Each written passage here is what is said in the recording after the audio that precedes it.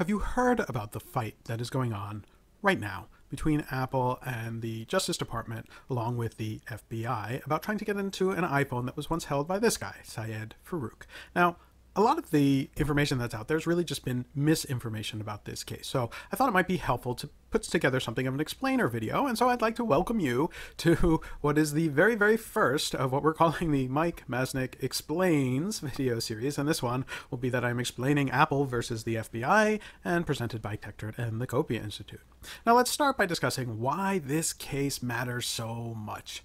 The Department of Justice really, really, really wants you to believe that Apple views your privacy as nothing more than a marketing tool that helps them sell more iPhones. And thus, to the Department of Justice, this case is really about the choice between trying to help Apple sell more iPhones or letting terrorist attacks happen. And when you look at it that way, it seems very obvious that the Justice Department has a point. But the reality is that that's wrong. It's blatantly wrong. This case is not about privacy as a marketing vehicle for Apple versus security, but it's really about privacy and security and protecting yourself versus a different kind of security. And if that's the case, then the important thing is that you need to look very closely at the different trade offs at play here and to ask about what is really the bigger risk. Is it a terrorist or a criminal using encryption in order to create some sort of plot, or is the much more likely risk that your phone is exposed in some way to anyone, including malicious hackers, to other criminals, or to governments who want to get into your phone illegally? And so we want to go through five reasons why privacy, your privacy and security are so important and why you need to support encryption. And the security that the government is talking about in this case, where law enforcement can see through it, is not so important.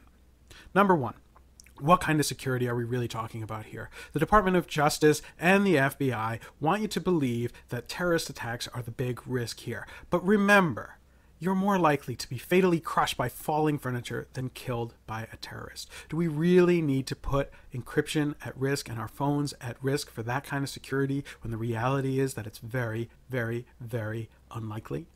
Number two, the Department of Justice and the FBI keep talking about this concept of going dark, that because of encryption they can't see what's happening anymore. But please consider a recent report that came out of Harvard called Don't Panic, in which they point out that this isn't true. Law enforcement today has more access to more information than ever before. That's because there's so much more out there that they're getting. Even with strong encryption, law enforcement still can get access to location info and metadata that's not encrypted or other data that isn't encrypted. And there's much, much more, especially as the Internet of Things grows and takes off, it's going to provide even more access to information. So, as some people have pointed out, when law enforcement talks about going dark, they want you to picture this eclipse where the sun is disappearing. And the reality is that the, the information that is really strongly encrypted is a tiny dot on the sun. And in fact, that sun is growing larger and larger and larger. Number three, another study from Harvard looked at a worldwide survey of encryption products and saw that there were 865 encryption products currently on the the market from 55 different countries. 546 of those products are not from the US, they're from all over. Another report from the Open Technology Institute looked at the kinds of tools that ISIS was using and found that when it involved encryption, it was usually open source or non US based. And that means pretty obviously that even if the Justice Department were able to get what it wanted, it wouldn't actually stop terrorists from using encryption. There's just too many other products out there. So, what do they actually accomplish?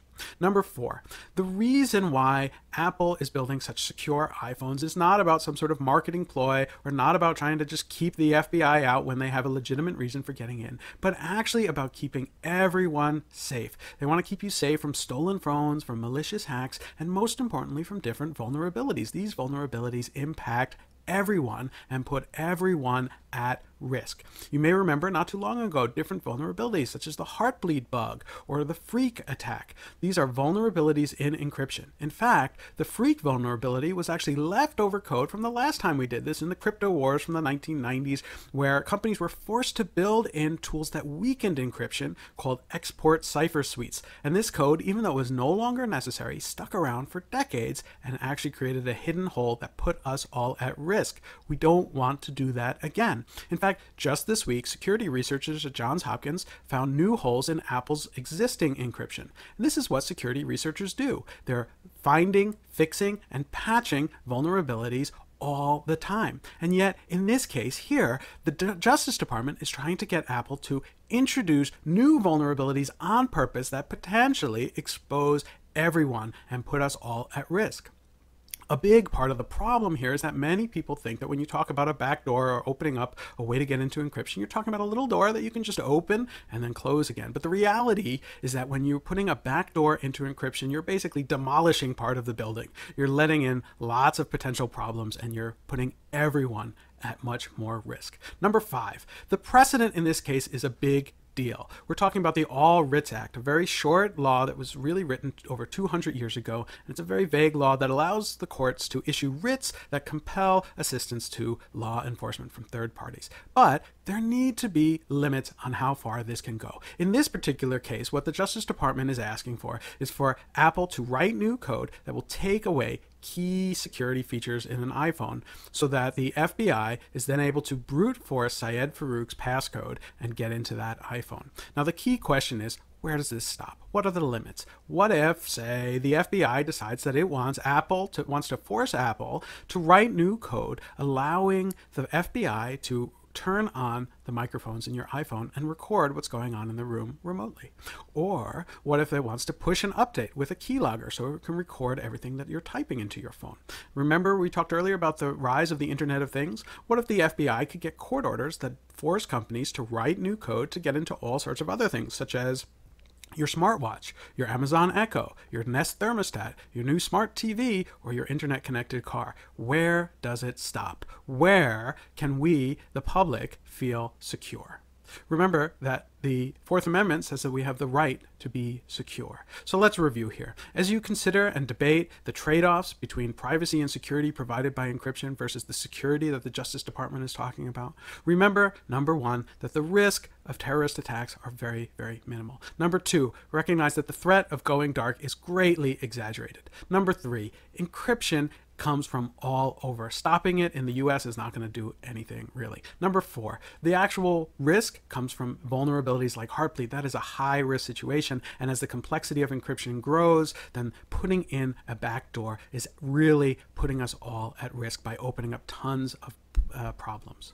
Number five, and finally, the precedent here in the All Writs Act is a big deal. It's going to impact so much more than just one iPhone. And when you think about all this, you realize that the debate here is really no debate at all. This is really about choosing between security and privacy for yourself versus putting everyone at risk. And that is why the security and privacy presented by strong encryption and what Apple provides is much more important than what the Justice Department is asking for. And it's why this case matters so much. Thank you, thank you, thank you for listening to this and watching this very first video of the Mike Masnick Explains series. Series. If you like this video, and I hope that you liked it very much, please check out our crowdfunding campaign on Beacon Reader and support us so that we can make more like this and do more reporting on this subject. Thanks again.